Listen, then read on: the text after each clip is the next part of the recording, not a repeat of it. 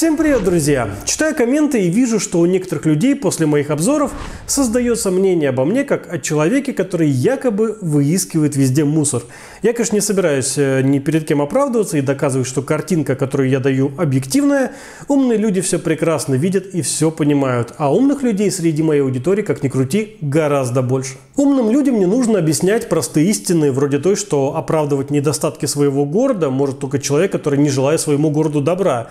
Это ведь просто как дважды два, да? Пока есть люди, которые защищают э, плохие условия своей жизни, которые кивают на другие страны и говорят там, помойку можно найти в Париже, например, да? А, которые считают, что выкинутые на тротуар фантик или пачка из-под сигарет – это нормально. Пока вот, вот эти все персонажи есть э, в нашей жизни, то о каком развитии можно говорить? Нет, формально вам, конечно, могут сделать дорогу или открыть какой-то парк э, с дешевенькой детской площадкой из соседнего эпицентра.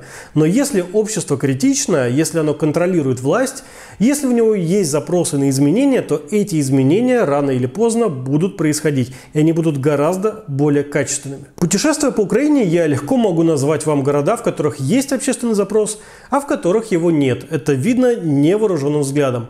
Коростышев – это пример города, в котором нет общественного запроса. Когда я выпустил короткий ролик о Коростышевском каньоне в прошлом году, где я показал огромные свалки на месте отдыха людей, местные жители стали мне писать, что это не они, что это все приезжие. Пару недель назад я выпустил ролик про сам Коростышев, и стало понятно, что приезжие, в общем-то, ни при чем. В самом городе происходит такая же дичь.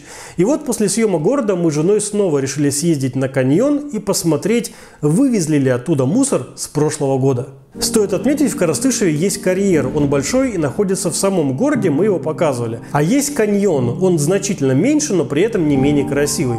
Он находится чуть дальше от города. Хотя, как мне сказали местные, по сути и то, и другое карьеры. Но вот так повелось говорить. Также необходимо сказать, что это еще апрельские съемки, то есть до наплыва туристов и отдыхающих еще было далеко, да и на улице было прохладно. Тем не менее, продукты жизнедеятельности человека на фоне этой красоты выделялись уже тогда. Особенно меня вот, вот эта часть а, порадовала в прошлый раз. И я даже не представляю, что тут мы увидим сейчас. Ну да, собственно говоря, ничего здесь и не изменилось. Как была э, здесь куча мусора, причем пластикового, так и осталось.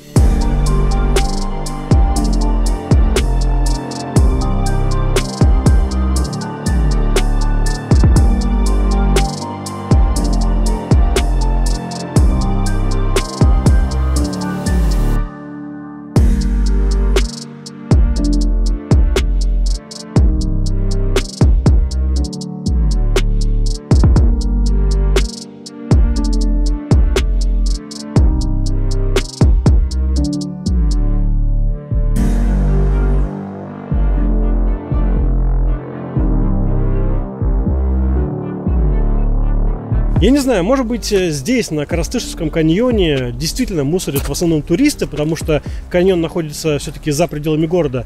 Но вот в Коростышевском карьере мусорят абсолютно точно местные.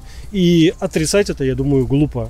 Потому что и около парка мусор, и везде, и в городе, в том числе тоже мусор. А, в общем, вы все видели сами. А ведь решение этой проблемы на самом деле очень простое. Нужно всего лишь сделать платный въезд на территорию, а деньги, вырученные от этого, пустить на оплату охраны и вывоз мусора. Почему я написал в заголовке, что это касается каждого? Потому что Коростышев, к сожалению, не единичный. Это просто наиболее наглядный пример. Сумы, Николаев, Запорожье, Коломыя – это города, в которых есть мусорная проблема. Но попробуй выехать за пределы любого другого города на природу, и везде одна и та же картина. Поэтому каждый человек должен начать с себя, чтобы подобного не допускать.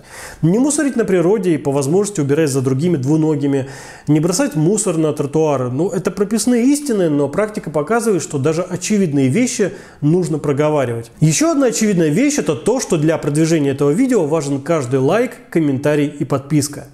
На этом все. Всем спасибо и пока. Скоро увидимся. Будет интересно.